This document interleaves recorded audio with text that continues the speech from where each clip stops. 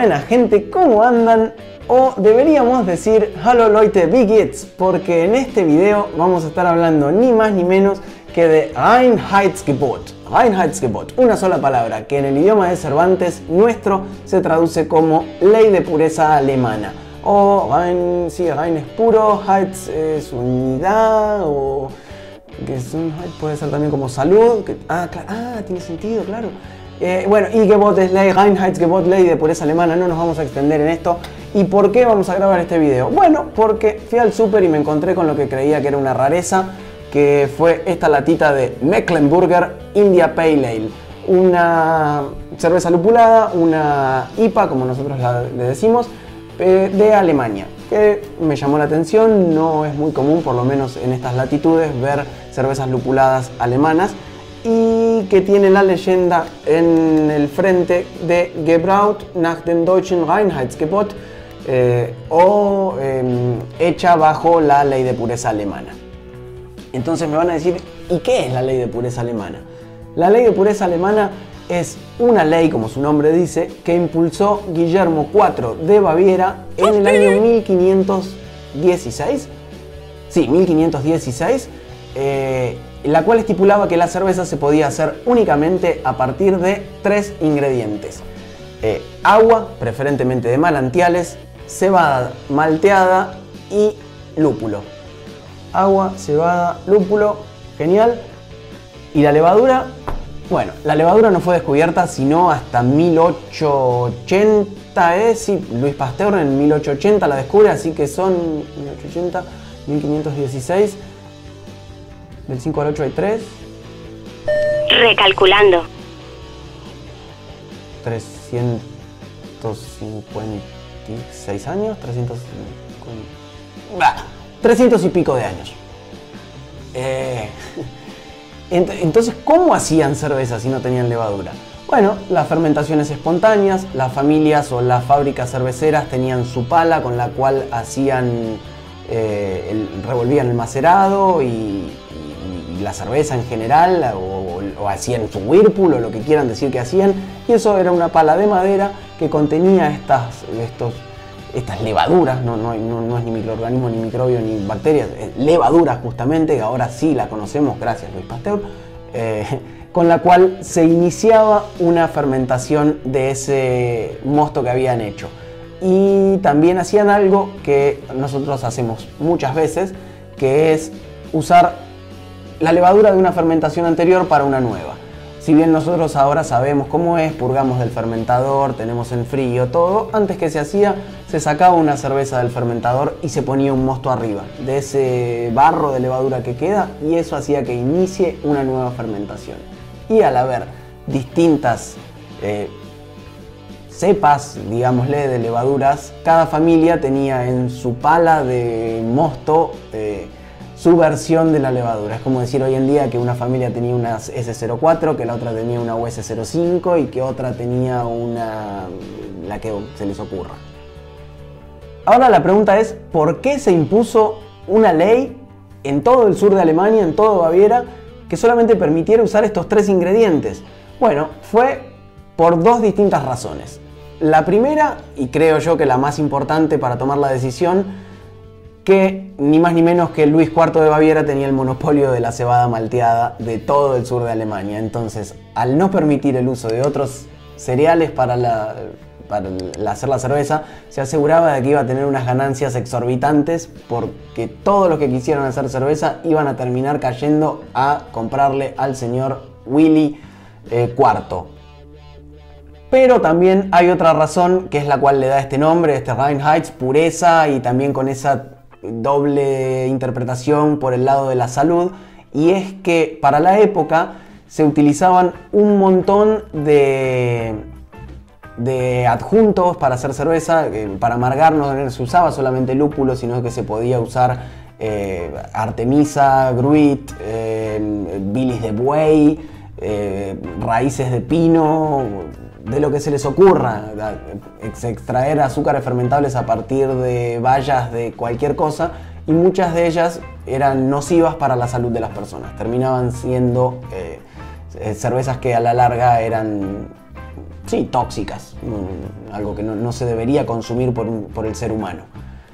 De esta forma entonces, ¿qué se aseguraban con la ley? Que además de que la gente tuviera un producto de calidad hecho con materias primas eh, reguladas, si se quiere decir, eh, también se evitaba que hubiera un conflicto en la época que era muy importante con la industria de la panificación, porque todo el trigo y todo el centeno se destinaban ni más ni menos que a hacer panes. Entonces no iba a haber una guerra de precios entre cervecerías y panaderías y no iba a haber faltante de cereales para eh, ni hacer cerveza ni para tener pan que tanto el pan de trigo como el pan perníquel, que es un pan muy rico de centeno, son ojalá se considera pan perníquel acá, eh, son muy difundidos dentro de lo que es la cultura, la cultura germana.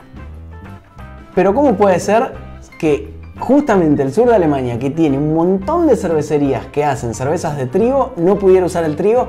Bueno, fue una de las primeras modificaciones que se hizo dentro de esta ley de pureza alemana, que se le permitió a una familia, y seguramente con un acomodo bárbaro, eh, si, Willy IV tenía el el monopolio de la cebada, seguramente el amigo tenía el trigo y le dijo, bueno, hace vos y puedes hacer cervezas de trigo. Que fue la familia Dagenberg, Dragenberg, no me lo voy a acordar ahora, eh, pero que al día de hoy siguen teniendo un producto con el cual su eslogan es la primer cerveza de trigo alemana.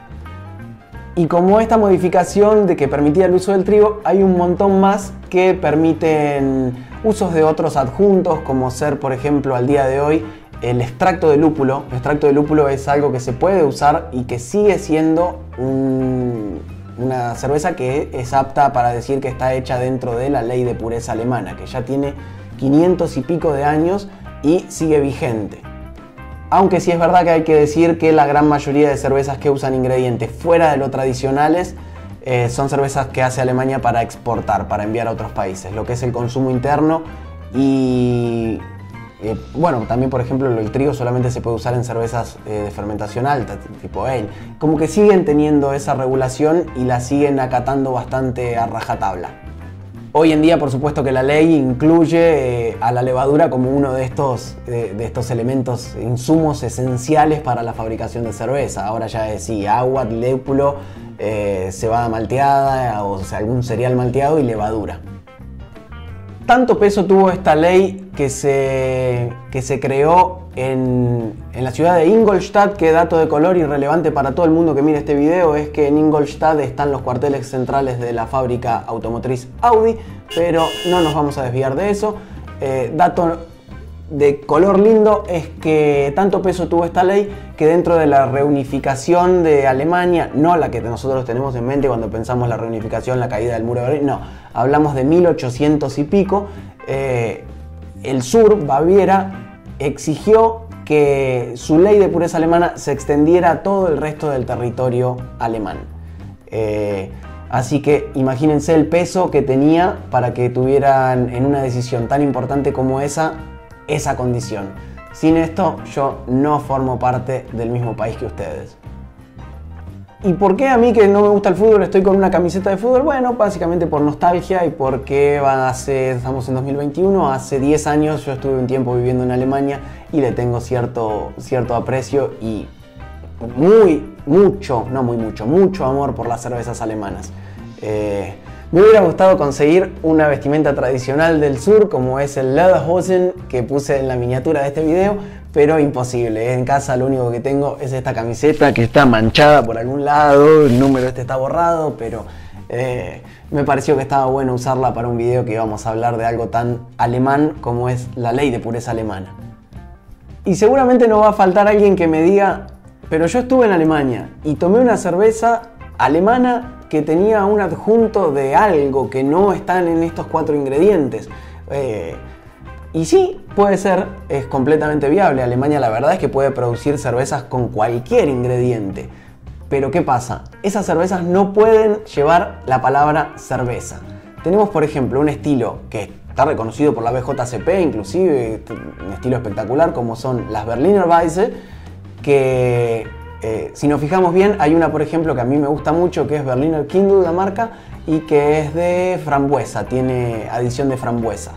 Y si vemos, por ejemplo, una botella o una caja o algo, en ningún lugar tiene la palabra Beer. Es únicamente eh, el nombre de la marca, el estilo, pero en ningún lugar dice cerveza. Porque la condición para que pueda llevar la palabra cerveza en Alemania al día de hoy, 2021, es que esté hecha con los cuatro ingredientes establecidos desde 1516. Y no lo vamos a hacer más largo este video, entonces los voy a dejar acá. Si les gustó, déjense un pulgarcito arriba. Si no están suscriptos, consideren suscribirse. Subo videos de cocciones, subo videos de reviews de las cervezas que hago, de algunas eh, cosas que me fabrico como linchera, me junto un fierro y me hago una tapadora, pero son videos que a los cerveceros caseros les vienen re bien y que a mí me encanta hacerlos. Así que si no están suscriptos, suscríbanse, que me dan una mano para que el canal siga creciendo y si les parece que a alguien le puede interesar un video de la ley de pureza alemana, compártanselo. Eh, mi recomendación sobre Mecklenburger India Pale Ale no me gustó, pero como siempre digo, es mi opinión que no vale para nada, así que pruébenla ustedes mismos y díganme en los comentarios qué les pareció esta cerveza hecha bajo los estándares de la ley de pureza alemana.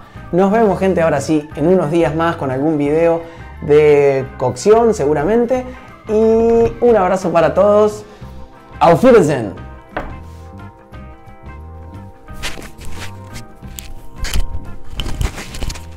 Wiedersehen, qué oxidado que está mi alemán. ¿Hace cuántos años que no hablo una sola palabra de alemán? Ay, ay, ay.